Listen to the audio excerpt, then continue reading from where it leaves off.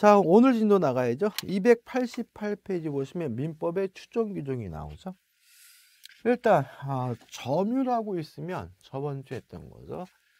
소유의 의사가 있다라는 자주점유 추정이 되고요.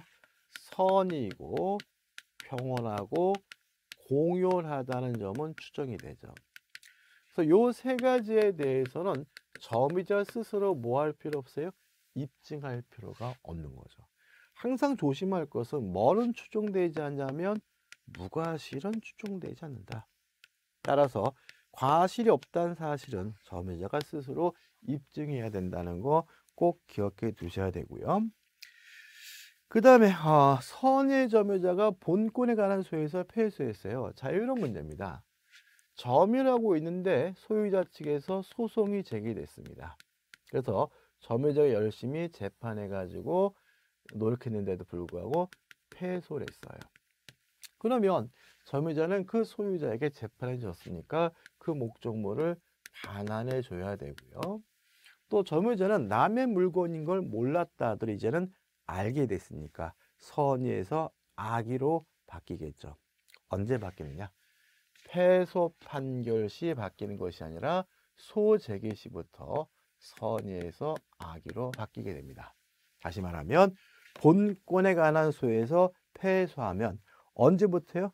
소송이 제기된 때부터 악의 점유자가 된다는 거 주의하시기 바랍니다. 그 다음에 어, 이런 문제입니다. 타인의 부동산을 점유하고 있는 상태에서 20년 지나게 되면 취득시효를 하거든요. 그러면 20년간 점유하고 있다는 사실을 입증해야 되는데 이것도 만만치가 않은 거죠. 그래서 우리 민법은 추정 규정을 두고 있는 거죠. 어떻게 해요? 전후 양시점, 시작한 시점과 끝나는 양시점만 인정이 되면 중간은 그 점유를 계속하고 있는 것을 뭐합니까? 추정한다라는 규정을 두고 있어요. 조심할 것은 뭐냐면 어, 만약에 갑이 점유하고 있다가 을에게 그 점유권이 승계된 경우에도 그 계속의 추정은 인정된다는 거죠. 다시 말하면 점유를 시작한 사람과 현재의 점유자가 다른 경우에도 양 시점만 인정하게 되면 그 점유는 계속된 것으로 추정된다는 거 주의하시기 바랍니다.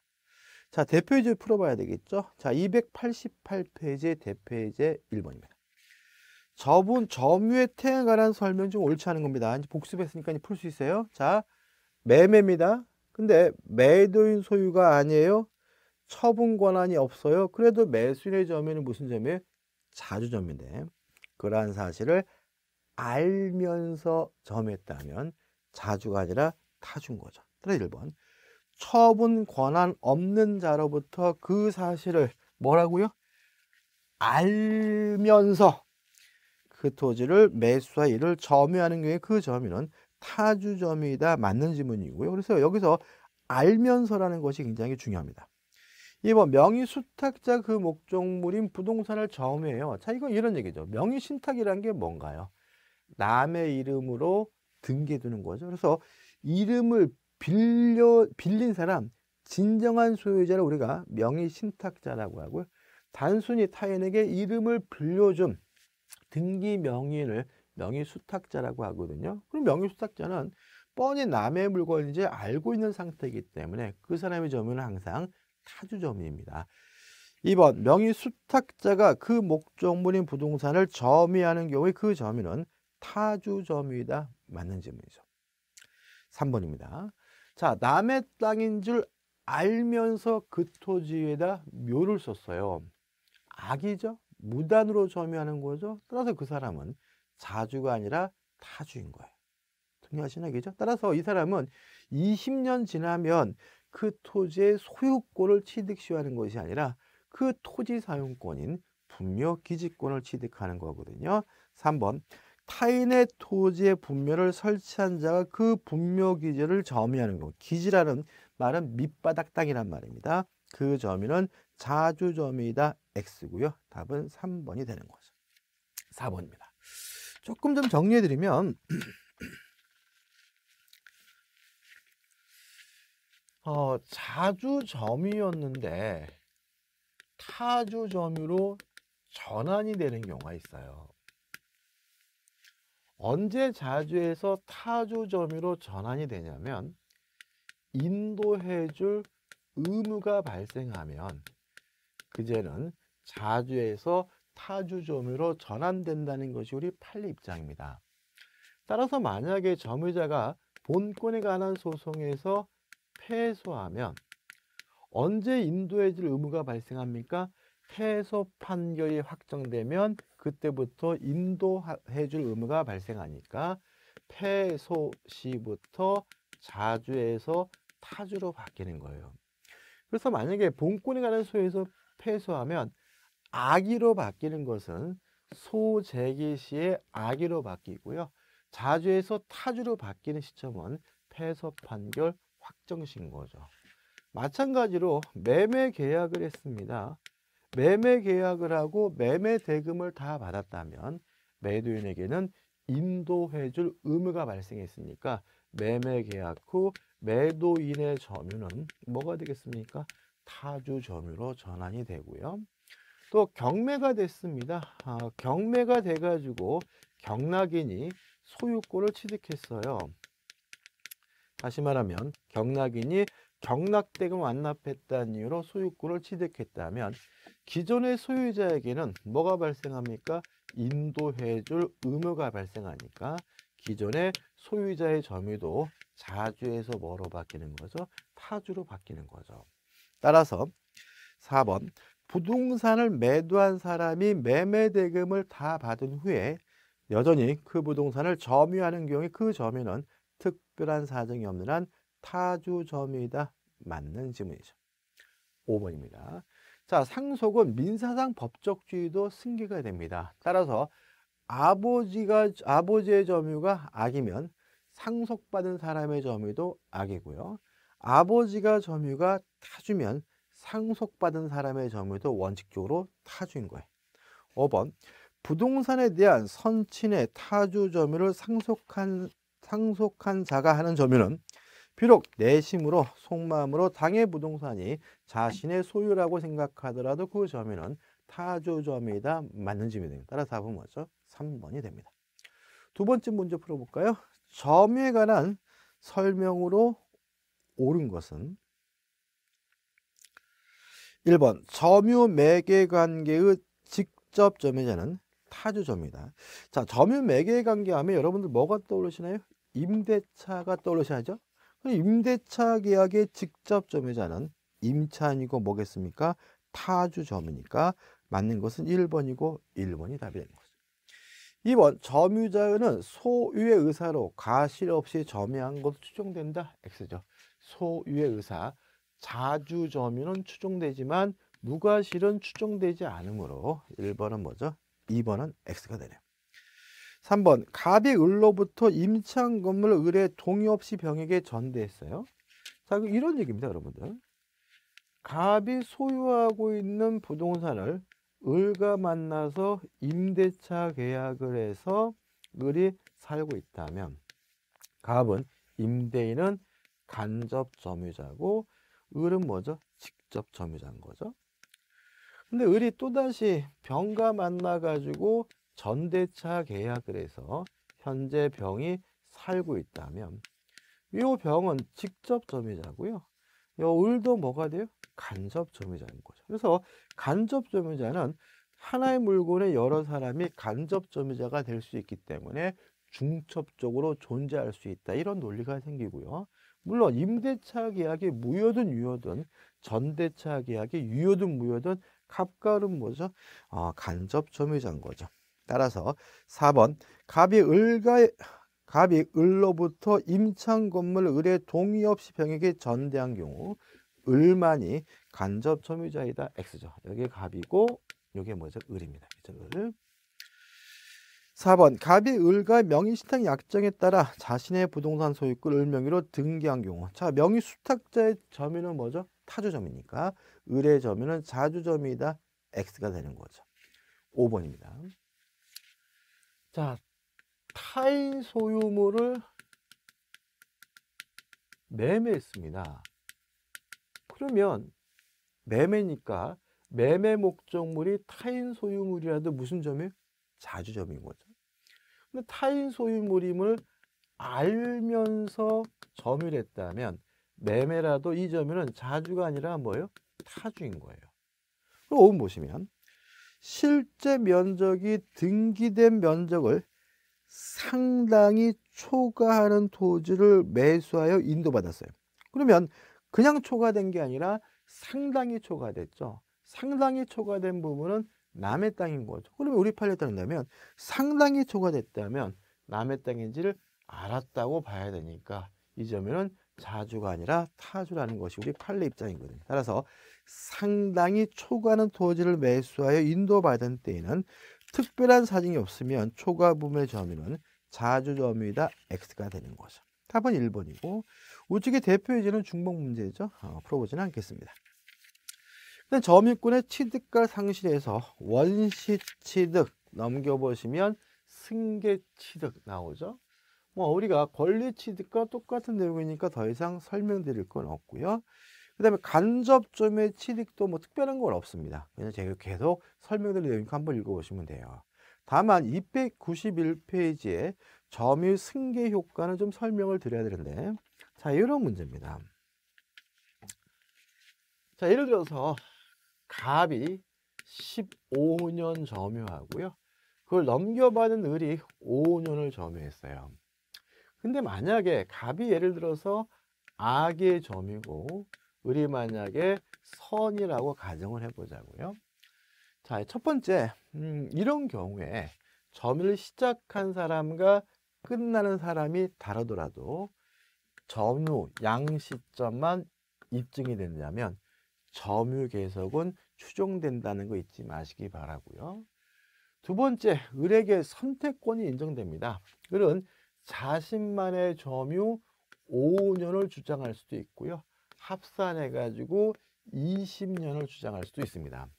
다만 합산해서 주장하게 되면 하자가 승계되기 때문에 이 경우에 을은 선의의 5년을 주장하거나 악의 20년을 주장하거나 선택할 수가 있는 거죠. 이해되시죠? 다시 말하면 점유 승계는 자신만의 점유를 주장할 수도 있고요. 앞점유자와 점유를 합산해서 주장하는 것도 가능한데 합산해서 주장하게 되면 하자가 승계되는 거죠. 따라서 을의 입장에서는 선의의 5년을 주장하거나 악의 20년을 주장하거나 뭐 할 수 있죠? 선택권이 있는 거죠. 근데 선택권이 없는 경우가 있어요. 지금 판례까지 다 설명드리고 있는 겁니다. 만약에 갑에서 을로 상속이 이루어진 경우에는 상속을 통해서 점을 승계받은 경우에는 을은 선의의 5년을 주장할 수 없고 악의 20년만 주장할 수가 있는 거다. 왜냐하면 어, 민사상 법적주의도 뭐가 돼요? 승계되기 때문에 끝입니다. 그 다음 점유권의 소멸원인 해가지고 1번 일반적 소멸원인 2번 직접점의 소멸 넘겨보시면 간접점의 소멸이 나오는데 특별한 건 없죠. 한번 읽어보시면 될 것 같고요. 6번 점유에 효력해서 점유의 추중 효과 또 나오죠. 1. 점유하고 있으면 자주, 선의, 평원, 공연이 추정이 된다. 조심할 것은 무과실은 추정되지 않는다. 2. 점유 계속의 추정. 점유를 하면은 양시점만 인정하면 중간엔 점유는 계속된 것으로 추정이 되는데 조심할 것은 시작한 사람과 끝나는 사람이 다르더라도 여전히 추정된다는 것이 우리 판례 입장이죠. 3번 권리의 적법 추정이죠. 자 교재 한번 읽어봐야 됩니다. 자 이렇게 돼 있죠. 교재 3. 저 권리의 적법 추정 점유자가 점유물에 대하여 행사하는 권리는 이렇게 나와 있는데 메모 좀 하시죠. 여기 권리는 이렇게 나와 있는데 이 권리를 동글뱅이 쳐서 이게 소유권 이렇게 화살표에서 떼, 빼시면 돼요. 이렇게 되는 거죠. 점유자가 점유물에 대하여 행사하는 소유권은 적법하게 보유한 것으로 추정한다. 추정된다. 이렇게 되는 거잖아요. 그럼 이런 얘기죠. 제가 지금 이 안경에 대해서 사실상 지배를 하고 있죠. 점유하고 있죠. 그럼 여러분들은 어떻게 생각하냐면 저 꼬질의 안경은 저 인간 거구나라고 생각하겠죠. 저는 이 안경을 점유함으로써 이 안경에 대한 소유권이 있음을 뭐 받습니까? 추종을 받는 거예요. 근데 조심할 것은 뭐냐면 동산이 그런 거죠. 부동산의 경우에는 누가 소유자로 추정이 되냐면 그 부동산을 등기하고 있는 사람이 소유자로 추정되는 거죠. 다시 말하면 점유하고 있다는 이유로 소유자로 추정된다는 이 민법 200조 규정은 동산에 하나야만 적용되는 겁니다. 부동산의 경우에는 점유하고 있는 사람이 아니라 등기하고 있는 사람이 소유자로 추정이 되는 거죠. 끝이에요. 자, 우측에 보시면 대표 예제가 나오죠. 점유의 추정에 대한 다음 설명 중 옳지 않은 것. 1번 동산의 점유자가 그 동산을 반환 시에 그 동산에 관한 유익비를 청구하려면 아 이것도 아 제가 아, 점유자와 회복자의 관계를 한 다음에 설명드릴게요. 그죠? 뒤에 설명드리겠습니다. 바로 2번 점유자와 회복자의 관계로 갑니다. 중요합니다. 실제로 점유자 회복자의 관계에 대해서는 시험 문제 거의 출제 가능성이 90%. 자, 이런 문제죠. 어떤 사람이 타인의 물건을 점유하고 있다가 그 물건을 돌려주게 됐어요. 두 사람의 관계를 우리가 점유자와 회복자의 관계라고 해요. 여기서 첫 번째 기억할 것인데 아무런 권원 없이 타인의 물건을 점유한 자라는 거죠. 자, 이게 무슨 말이냐면 점유자 회복자에 관한 민법 규정은 언제 적용되냐면 아무런 권한 없이 타인의 물건을 점유하다가 돌려준 경우에만 적용된다는 거예요. 왜냐하면 만약에 임차인이다 그러면 임대차에 관한 민법 규정이 적용되는 거예요. 전세권이다 그러면 전세권에 관한 민법 규정이 적용되는 거고요. 유치권이다 그러면 유치권에 관한 민법 규정이 적용되는 거죠. 따라서 만약에 그 권원에 의하여 타인의 물건을 점유하다가 돌려주게 되면 그 권원에 있는 임대차면 임대차, 전세권인 전세권 그 권원에 있는 민법 규정이 적용이 되는 것이지 점유자와 회복자에 관한 민법 규정이 적용되는 건 아니에요. 그래서 점유자 회복자에 관한 민법 규정은 아무런 권한 없이 타인의 물건을 점유하다가 돌려준 사람에게만 적용되는 거예요. 자, 여기 대표 이제 풀어볼 수 있어요. 자, 대표 이제 풀어볼게요. 점의 추정에 대한 다음 설명 중 옳지 않은 것 1번. 동산의 점유자가 그 동산을 반환 시에 그 동산에 관한 유익비 상한을 청구하려면 그 점유자는 유익비 지출 당시 이를 점유할 권한이 있었음에 대하여 주장 입증할 책임이 있다. X입니다. 왜냐하면 점유자 회복제에 관한 민법 규정은 아무런 권한 없이 타의 물건을 점유하다가 돌려준 사람에게 적용되는 것이니까 자신에게 권한이 있다는 사실을 뭐 할 필요 없어요? 입증할 필요가 없는 거고요. 따라서 답은 뭐죠? 1번이죠. 2번. 부동산 점유자는 소유의 의사로 그 부동산을 점유한 거 추정한다. 자주점이 추정된다는 얘기니까 맞는 질문이고요. 3번 물건의 점유자는 선의 평원 및 공연하게 점유한 것도 추정하죠. 조심할 것은 무과실은 추정되지 않고요. 4번 전후 양시에 점유한 사실이 있는 때 그 점유는 계속한 것으로 추정된다. 따라서 점유를 시작한 시점과 끝나는 시점만 입증하면 되는 거죠. 5번 선의 점유자라도 본권에 관한 소에 패소한 때에는 그 소가 제기된 때로부터 악의 점유자를 보는 거죠. 따라서 어, 선의 점유자가 본권에 관한 소에서 패소하면 패소 시부터 악인 것이 아니라 소재기 시부터 악의가 되니까 5번도 답이 될 수가 없는 거죠.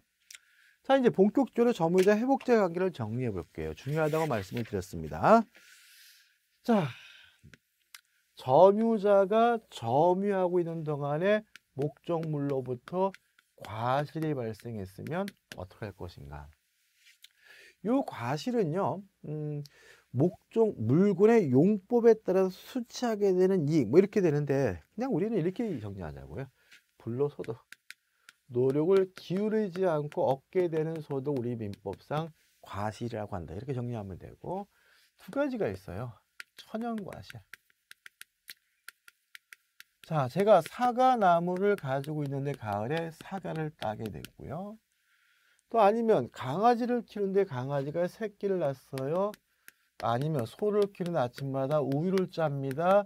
또 아니면 닭을 키우는 닭이 아침마다 달걀을 낳아요. 이런 것들 우리가 천연과실이라고 하고요.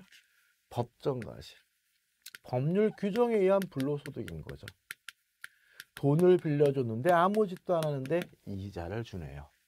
또 아니면 지료나 차임을 준다면 이런 것도 우리가 법정 과실이라고 하는 거죠. 물론 월급은 과실일 수가 없는 거죠. 왜냐하면 월급은 어, 저의 노력의 대가인 거니까요. 국립공원 입장료가 과실인지에 대해서 판례가 있는데 국립공원 입장료도 과실로 보지는 않습니다. 대신하면 어, 국가가 노력을 기울이는 거거든요.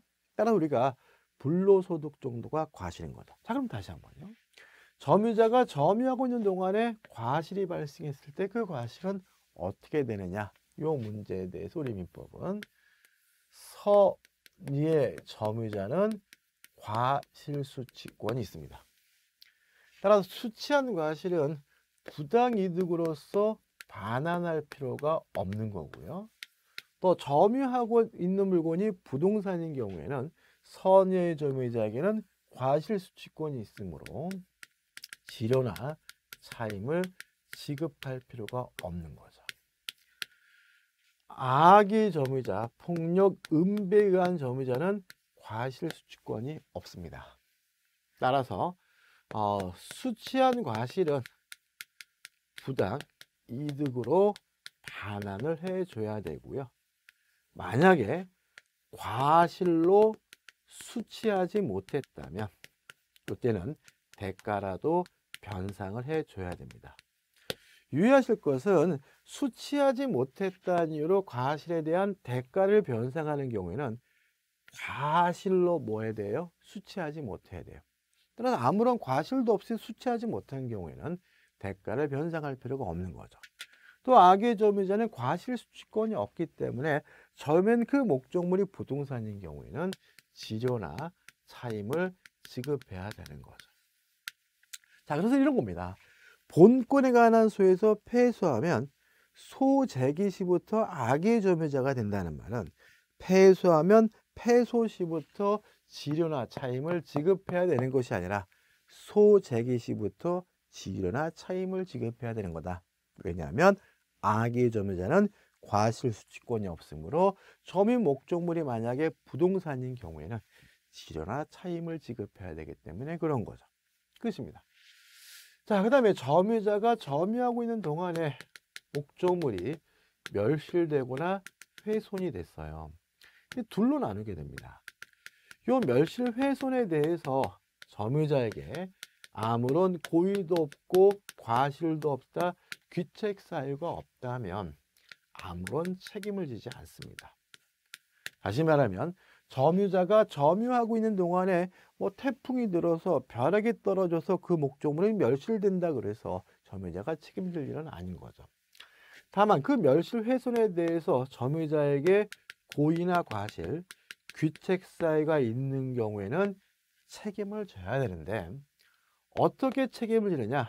만약에 점유자가 선의이고 and 자주 점유라면 그때는 현존하는 이익 범위 내에서만 책임을 지면 돼요. 근데 만약에 점유자가 악의거나 또는 타주라면 그때는 전부에 대해서 책임을 지는 거죠. 여기 항상 조심할 것은 and입니다. and. 선의이고 자주예요. 선의인 것만으로 부족하고요. 선의인데다가 자주 점유하지만 현존하는 이익 범위 내에서만 책임을 지고요. 만약에 선의더라도 타주면 전부. 그 다음에 자주래도 악의라면 그때 뭐죠? 전부가 된다는 거 and 또는만 조심하면 되는 거죠. 그 다음에 점유자가 점유하고 있는 동안에 어, 비용을 지출을 했습니다. 일단 비용에 대해서는 선의 점유자뿐만 아니라 악의 점유자도 비용 상환을 청구할 수 있어요. 비용은 선악불문하고 청구할 수 있고요. 점유자는 언제 비용을 청구하냐면 목적물을 반환할 때 저 비용은 상한을 청구하게 된다는 기억하시고 요 반환 시에 청구하게 된다는 것은 꼭 기억하시고 나중에 임대차 할 때 다시 또 제가 들목거릴 거예요. 자, 비용은 두 가지가 있습니다. 필요비. 자, 필요비는 뭐냐면 보존에 필요한 비용 보존비예요. 쉽게 말하면 수리비라고 생각하시면 돼요. 그 다음 유익비 있습니다. 유익비는 뭐냐면 이익이 있는 비용, 쉽게 말하면 계량비를 생각해 보시면 되는 거죠. 자, 이런 얘기입니다. 지붕이 고장 나가지고 지붕을 고쳤어요. 수리비 필요비인 거죠. 근데 고칠 정도가 아니기 때문에 싹 새 거로 바꿨습니다. 그럼 뭐죠? 계량비, 유익비 이렇게 되는 거예요. 자, 일단 필요비든 유익비든 선악 불문하고 점유자는 비용 상한을 청구할 수가 있는데 필요비의 경우에는 점유자가 과실을 수취했다면 통상의 필요비를 청구할 수 없다라는 거 꼭 기억해 두시기 바랍니다. 다시 말하면 필요비는 선악 불문하고 청구할 수 있지만 점유자가 과실을 수취한 경우에는 통상의 필요비를 뭐하지 못해요? 청구하지 못해요. 그 다음에 유익비는 아, 항상 청구할 수 있는 것은 아니고 이익이 현존하는 경우에만 청구할 수가 있는데 이러한 청구를 받으면 회복자는 점유자가 지출한 지출 비용이나 아니면 가액의 증가분, 증가액 중 하나를 선택해서 지급하면 돼요.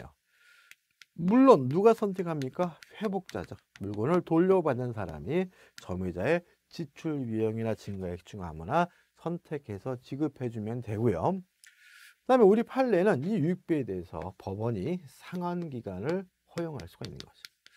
유익비의 경우에는 때에 따른 금액이 굉장히 클 수도 있잖아요. 그래서 법원이 상환 기간을 허용할 수 있다라고 민법에 규정을 두고 있습니다. 이 정도입니다. 근데 여기서 시험 문제가 잘 나오는데 뭐 지엽적인 내용을 기억하는 것도 좋아요. 그렇지만 가장 중요한 건 제가 정리해드리는 이 핵심적 내용을 확실하게 내 것으로 만드는 게 중요한 것이니 거의 딸딸딸 암기하는 수준으로 가야 됩니다. 자, 교재 보시면은 294페이지 선예 점유자의 과실지대권 말씀드렸고 그 다음에 295페이지 점유자의 멸실 회둔에 대한 책임 그 다음에 비용 상환 청구권이 나오죠. 자 이제 정리하는 의미에서 297페이지의 대표 예제를 풀어볼게요. 297페이지입니다. 점유자와 회복자의 관계에 관한 설명으로 옳은 것은 1번 선예 점유자가 취득한 과실에 점유물의 사용이익은 포함되지 않는다 X입니다. 자 우리가 점유 목적물이 부동산인 경우에 선의 점유자는 지료나 차임을 지급할 필요가 없는 거죠. 왜냐하면 사용이익도 일종의 뭐죠? 과실이기 때문에 그래요. 1번 X죠. 2번 유치권자에게 원칙적으로 수익 목적의 과실 수치권이 인정된다. X입니다. X인데 이유는 유치권 할 때 배웁니다. 3번 점유물이 점유자의 귀책 사유로 훼손됐어요. 다시 말하면 훼손이 됐는데 점유자의 귀책 사유 고의과실이 있었다는 얘기죠. 그러면 선이고 자주면 현존이익, 악이거나 또는 또는 타주면 뭐죠? 전부니까 결과적으로 선의 점유자는 소유의 의사가 없더라도 타주란 얘기죠. 그러면 선이라도 타주면 전부니까 이익이 현존하는 한도에서 배상 책임이 있다. X가 되는 거죠. 4번 회복자로부터 점유물의 반환을 청구받은 점유자는 유익비 상한을 청구할 수 있다. 맞나요? 맞는 거죠. 자, 왜냐하면 점유자는 선악 불문하고 필요비 유익비 청구할 수가 있고요. 언제 반환 신 거잖아요. 따라서 반환할 때 선악 불문하고 유익비 상한을 청구할 수가 있는 것이니까 4번 회복자로부터 점유물의 반환을 청구받은 점유자는 유익비 상한을 청구할 수 있다는 질문은 맞는 질문이죠. 5번 점유물의 소유자가 변경된 경우 점유자는 유익비 지출 당시의 전 소유자에게 비용의 상환을 청구해야 한다. 맞습니다. 반환할 당시 소유자인 거예요. 항상. 반환할 때 청구하는 것이니까 반환할 당시 소유자에게 필요비익비 상환을 청구해야 되므로 5번도 X고의 답은 먼저 4번이 되는 거죠. 자, 이번 시간 여기까지고요. 다음 시간에 이제 3, 점유 보호 청구권으로 들어가도록 하겠습니다.